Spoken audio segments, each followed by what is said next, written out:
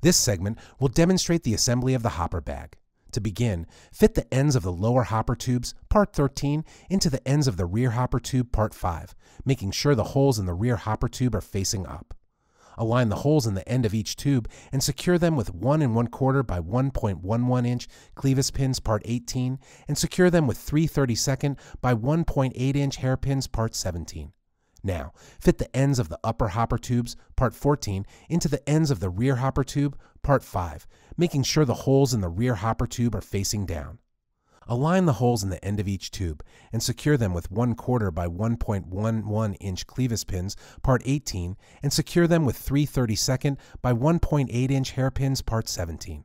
Now, mate the upper and lower subframes with two 3 8 by 1 2 inch clevis pins, part 22, and then secure them with two 3 32nd by 1.8 inch hairpins, part 17. Next, unfold the hopper bag and insert the assembled hopper frame into the hopper bag.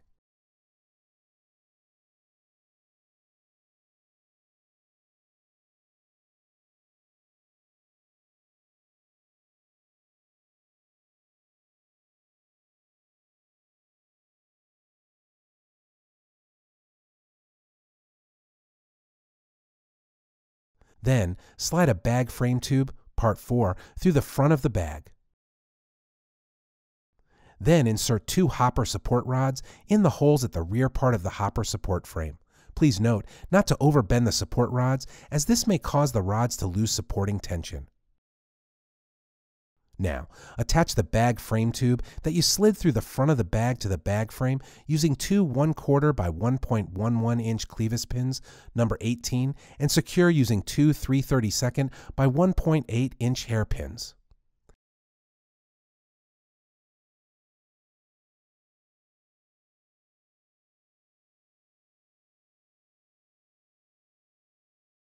Next, fold the front flaps on the bag over and then snap them in place. Then proceed with the Velcro along the sides and the ties along the back.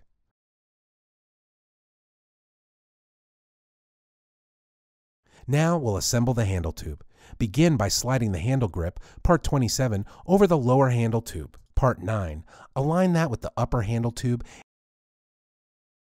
and then secure with 1 quarter inch by 20 by 1 inch bolt and secure with a knob part 31.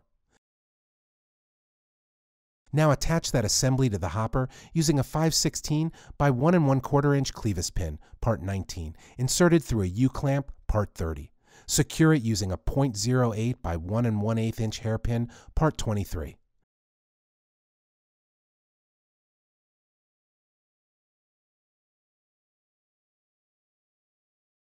Now attach the hopper to the bag frame by sliding the pivot post down into the bag arms.